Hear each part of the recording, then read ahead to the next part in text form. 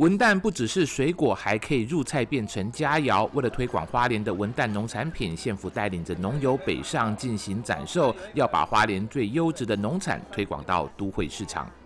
虽然花莲今年真的天气的灾害非常的多，其实天气的状况没有人可以掌握，但是花莲人的韧性，花莲土地的韧性是我们一直在努力的。那其实县政府这边持续的带领农友走出来，不管是到我们的台北，或是到我们的台中，其他的县市，只要农友愿意，花莲县政府都会带着大家一起来出门。好山好水之外，最重要就是好品质，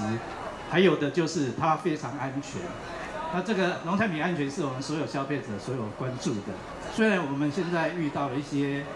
地震的影响，那人进不去，但是我们货把它送来这边了。花莲是全台最重要的文旦产区，种植的面积有上千公顷，占了全国的四分之一，每年的产量都非常大。因为农民栽培管理技术精进，品质也越来越受肯定。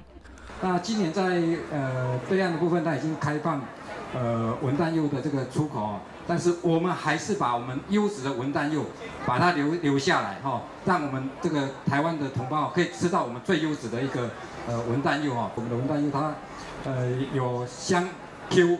酸、甜、甘，这是五种滋味哈，所以我们的文旦柚吃起来它的呃滋味层次是非常非常的丰富哦。文旦柚因为采收以及保存的条件限制，所以每年可以享用的最佳黄金时段就是在中秋节前后，尤其是白露到中秋这段期间，不少消费者都会把握机会扫货。花莲县府也欢迎民众到花莲去吃文旦、买文旦，并且推出了买文旦柚就送抽奖券的活动，卯足了全力来促销农产品，重振花莲观光。人间新闻后面桥采访报道。